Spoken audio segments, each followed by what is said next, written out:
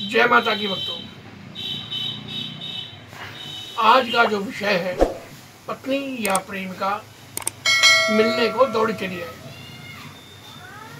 इस विषय को चालू करने से पहले मैं आपसे कहूँगा कि आप हमारे चैनल को सब्सक्राइब करें, लाइक और शेयर करें, घंटी वाले बटन को दबाएँ, ताकि आने वाली वीडियो आपको पहले मिले।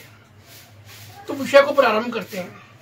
पत्नी या प्रेम का मिलने को दौड़ी चले आए इस कार्य को करने से पहले आप अपने मन में ये विश्वास करें कि आपका ये कार्य अवश्य होगा।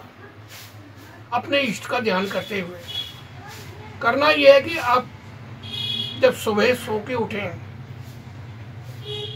और उठते ही आप अपनी प्रेमिका का या पत्नी का नाम सिर्फ़ सात बार लें। और अंजलि में जल भर के तीन बार पिए।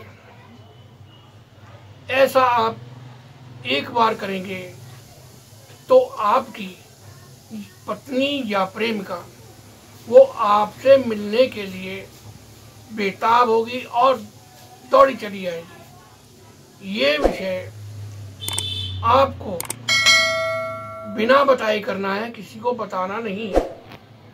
मेरा ये विश्वास है कि जो भी अपने इष्ट को ध्यान रखते हुए इस कार्य को करेगा, उसकी मनोकामना अवश्य पूरी होगी। मैं आपसे एक बार फिर कहूँगा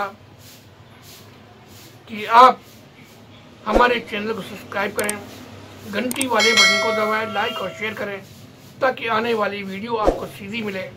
इन्हीं शब्दों के साथ मैं आपसे विदा चाहूँगा। जय माता